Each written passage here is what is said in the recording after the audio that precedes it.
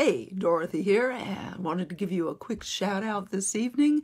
Uh, it's a evening here in North Texas, and uh, you know, I had a, a reply to one of the emails that I sent out, really about catcalling and the ratings game that uh, some men will do for us as as women. Not that we particularly think of it as, but uh, he, uh, but it happens. Oh, hold on, I've got something goofy going on over here. Hold on, hold on.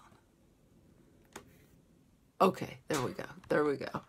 Technology. We like it when it works. So, uh, little shout out on on this because you know I'd written about that. It's really important to kind of get an idea what's going on there, and uh, catcalling in the ratings game can really have a lot to do with men. Can it feels like their uh, uh attention is pegged on us, but very much they are competing with one another for who can be like, you know, get the most reaction out of somebody else.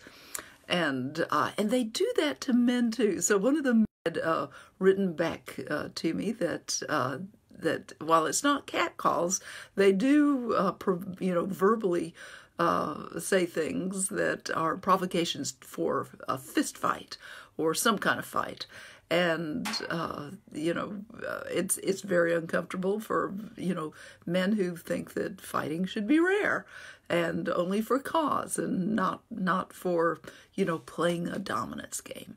And so uh, just just remember that that really is it's a game uh, very often that uh, those men who are doing it are uh, are competing with one another and it uh, typically just uh, stays at that verbal uh, level and it's kind of like who's controlling the street so to speak so um, that's it's an interesting perspective if you haven't read Dr. Katz's work that's Dr. Jackson Katz you know his most famous book uh, is called the macho paradox, and it's it's really you know as a as a man who's is an ally uh, to women, speaking about you know the problem of of violence as being a man's problem.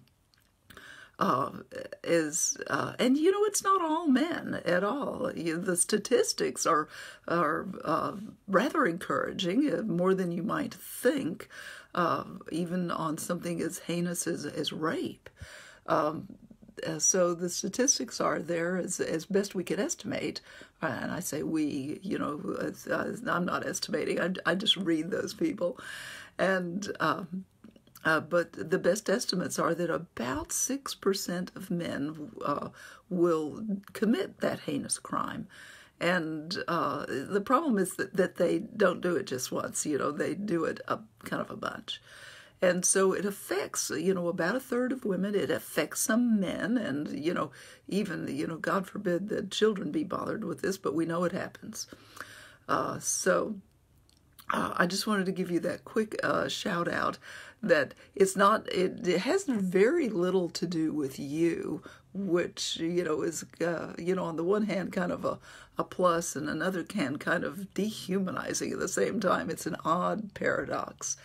Uh, but uh, it, really has to do with those men uh, who are doing these kinds of shout outs and playing that who owns the street game, catcalling and ratings and such, that uh, that they're they're competing with one another quite often, and uh, just to see who can get a raise out of you know some person on the street.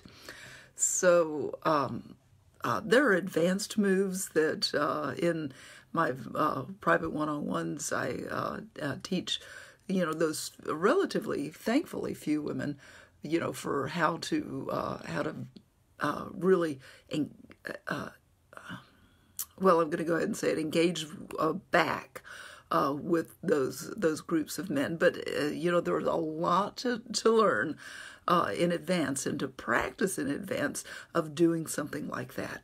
But but when you can own the the conversation and really bring it uh, be your badass self in a, in a huge way, that's it is an upper level move.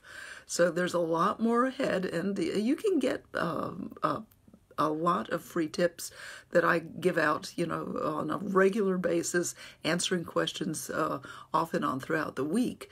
In our uh, new Facebook group, and that is the 13 Second Women's Empowerment uh, with me, your host, Dorothy Goon. So I'm hoping that you will uh, hop on in there, you know, introduce yourself. Oh, uh, you do have to answer three questions to, to get in, to be approved. And uh, because it is a closed group, we want a safe community uh, of primarily women, and we have some men that are in there that are there because uh, they they want to be good allies on behalf of their daughters and those kinds of uh, things. And so, good men are my heroes. They they make our lives better in so many ways, and uh, and I just wanted to make sure that you've got uh, just this little bit. Uh, since it came up and across my desk, and you know, it's it is time to share of the good strategies that help us keep our sanity in a world where things can go silly sometimes. So, have a great evening. Stay warm this winter, and uh, uh, I will see you soon on the next video. Bye for now.